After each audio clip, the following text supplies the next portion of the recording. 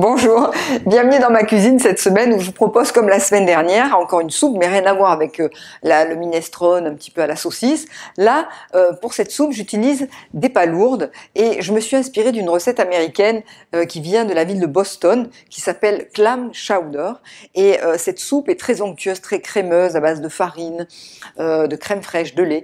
Donc vous me connaissez, j'ai essayé un petit peu de m'en inspirer mais en enlevant ces trois ingrédients et trouver un moyen de garder cette soupe très onctueuse alors pour ça, donc j'ai réduit les ingrédients et j'ai essayé de comme toujours, essayer de faire quelque chose simple.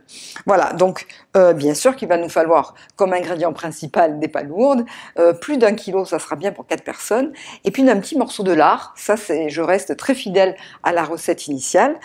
Ensuite, je vais utiliser juste trois légumes, des poireaux, des carottes, des pommes de terre, un beau bouquet garni pour parfumer tout ça, et puis pour assaisonner, sel, un tout petit peu de sel, beaucoup de poivre par contre, on peut en mettre beaucoup, un peu de persil pour la couleur juste avant de servir, et du vin blanc pour faire cuire les palourdes.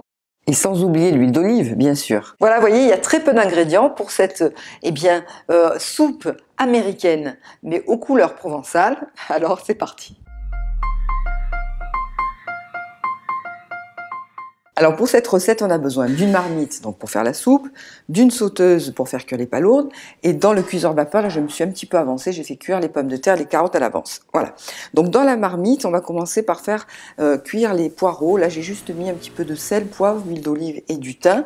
Donc les poireaux, vous avez vu, je les ai émincés mais vraiment très petits petits, hein, pour qu'ils cuisent beaucoup plus vite. On les fait cuire à l'étouffée, à couvert, une quinzaine de minutes.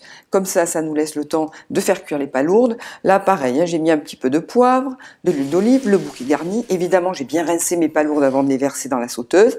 Je mets un verre de vin blanc, un verre d'eau. Et puis, c'est exactement comme pour les moules, avec la chaleur, hein, quand ça commence à bouillir, vous couvrez et les coquillages vont s'ouvrir entre 5 à 8 minutes maximum. Voilà, regardez comme le, bon jus là qu'on va pouvoir récupérer pour la soupe. Alors par contre, maintenant qu'elles sont ouvertes, elles sont cuites, on va les laisser refroidir et on va s'occuper des poireaux. Donc les poireaux, une fois cuits, on va les mixer en purée bien lisse et bien onctueuse. Et ensuite, euh, le, morceau de lard, je l'ai tranché en petits lardons que je vais faire colorer au fond de la marmite. Ça aussi, ça va donner du goût. Alors voyez, là, cette purée bien épaisse mais lisse de poireaux, c'est ce qui va donner l'onctuosité à la soupe. Je, je, vais la diluer avec un petit peu d'eau de cuisson des palourdes. Et vous voyez, on a l'impression qu'on a mis du beurre, de la crème, du lait. Non, c'est juste les poireaux mixés. Et en plus, c'est tellement goûteux que ça va être magnifique pour cette soupe. Voilà, j'oublie pas de poivrer et puis euh, surtout de rajouter un petit peu d'eau. Alors dans la recette, il faut que vous mettiez deux verres d'eau. Alors là, je mets le deuxième verre d'eau dans le robot pour récupérer, toute la purée de poireaux, mais vous pourriez mettre le deuxième verre d'eau euh, dans la cuisson des palourdes, hein, dans, la sauteuse. Voilà, donc ensuite, on va mettre les palourdes, alors quelques-unes avec leurs coquilles pour faire joli, les autres j'ai décortique. Si vous en voyez comme ça, qui sont, restent fermées, vous les jetez. Et puis, euh, vous allez peut-être rajouter, s'il faut, un petit peu d'eau de cuisson, si vous trouvez que euh, le fond de soupe est trop épais. Hein. Il faut qu'il soit épais, mais pas trop quand même. Et puis on n'a plus qu'à verser nos petites carottes coupées en cubes, les pommes de terre écrasées comme ça avec les doigts, le poivre, et puis la soupe est prête.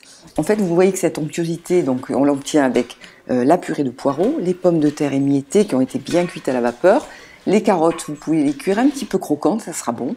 Et puis voilà, vous pouvez servir soit dans des petites verrines ou faire des belles assiettes comme ça avec un peu de persil haché. Bon appétit